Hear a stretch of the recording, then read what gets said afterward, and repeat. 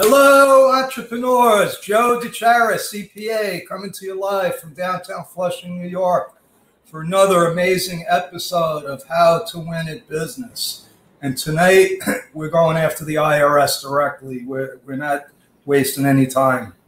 If you're watching live, people, please give me a hashtag live. If you're watching the replay, give me a hashtag replay because it, it fills my ego uh, knowing that people are actually listening.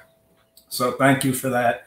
And if anything I say resonates with you, if you have a, tax question, an accounting question, if you want help trying to find money any way that we can, uh, book a chat with me, go to timewithjoe.com. And also, before I forget, uh, join my mastermind group. It's free. We we learn a lot. We connect. We have fun. It's on Saturdays at, at 2 p.m. Eastern Standard Time. Uh, so please join. It, it's you have nothing to lose and, and a lot to gain. And also, we have an event coming up on on June 15th. I put the uh, link in the chat box. So again, that that's another free event. Uh, it's it's all about finding your your money, your money. We're going to help you find your money because it's yours. Okay, it starts with the business, uh, but it ends with you. We want to help you find it and keep it. That's the bottom line. That's my story. I'm sticking with it. And let's get into the training. Hi, Tish. Yes, long time no see. Uh, love you. Love what you're doing. Welcome to, to Haley's team. And let's talk about, you know, I, I've gotten over the years, I can't tell you how many times people ask me for a list of what they can deduct. And I would actually try to create a list. And the list was pretty freaking long. It was too long. It was like never ending because the more I thought about it, the more business deductions I could find. So, what is a business deduction? Who defines it? Who polices it? Uh, what's that all about? Because it's really the definition of what a business expense is. And it's written in Code Section 162A. And, and people, you know, I learned a long time about when it comes to marketing, nobody cares about IRC code section 162A. That probably goes right over your head. And that's fine. That's what I'm here for, to explain this stuff to you. Uh, so, you know, the easiest way to find out is to go to Google, right? So I Googled it. And let me tell you something it is so discombobulated and misleading that is it is definitely impossible for a layperson to understand exactly what they are allowed to deduct. And that's by design, people. That's by design. You see, the IRS is not here to help us. The IRS is here to police us and make sure that we're paying more than our fair share of freaking taxes. And the truth is that business people get away with murder when it comes to when it comes to taxes. And I don't mean that in a bad way.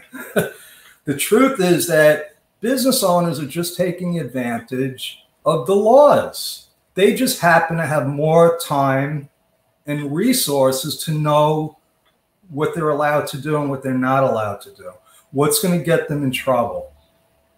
And so that that's what i'm going to explain to you. So you know so i did my google search. I found a lot of nonsense that made no sense if that if that makes sense.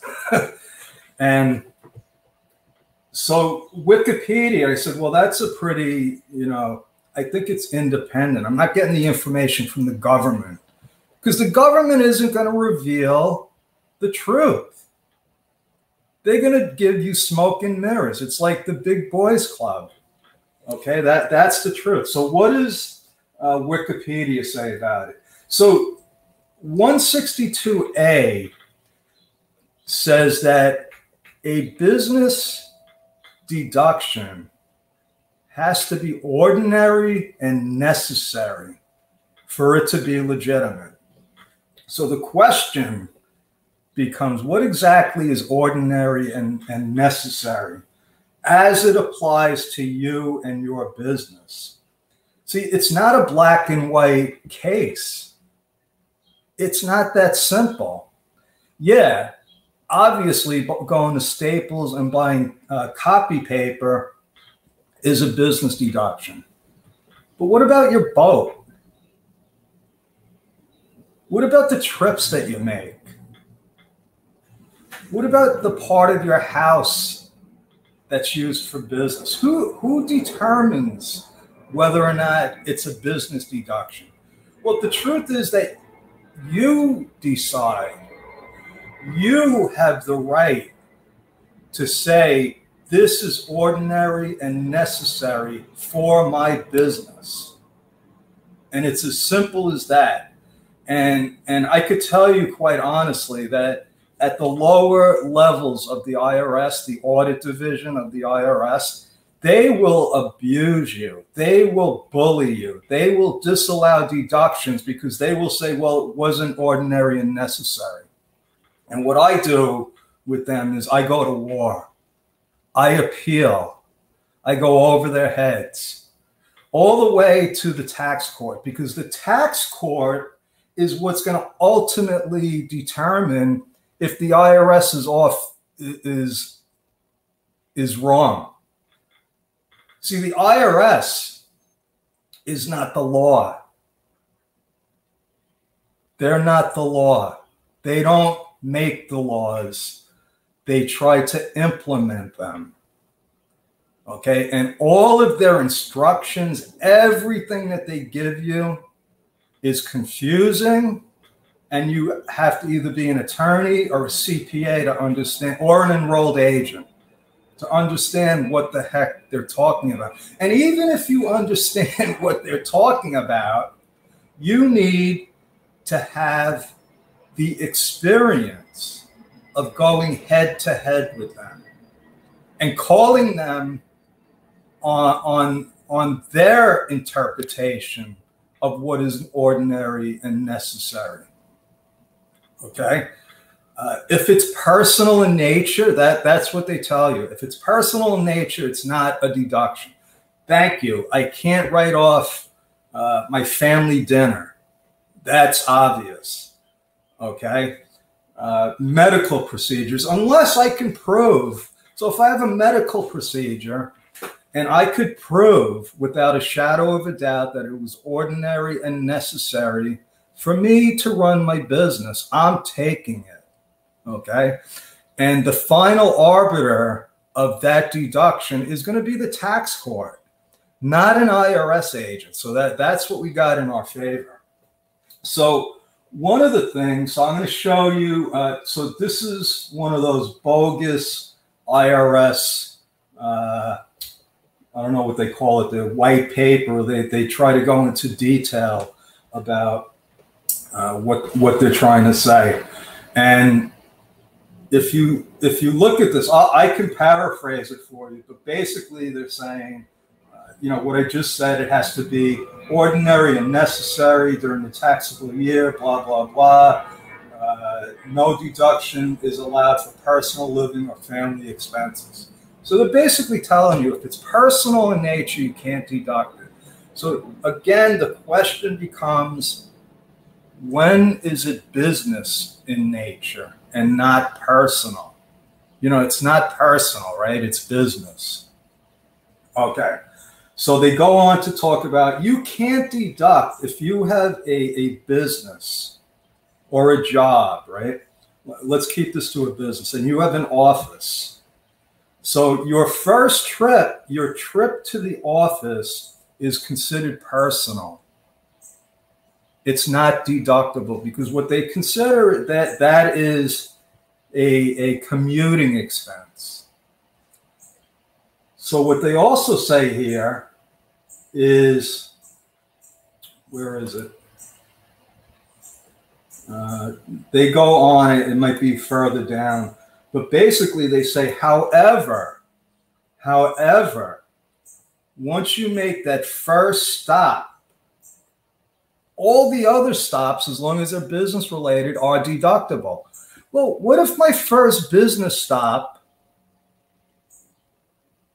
is right next door? And every day I check in with my client who lives next door and we review their books. And then the rest of my stops are all business deductions. And this is the kind of twisted mentality that, that fools people.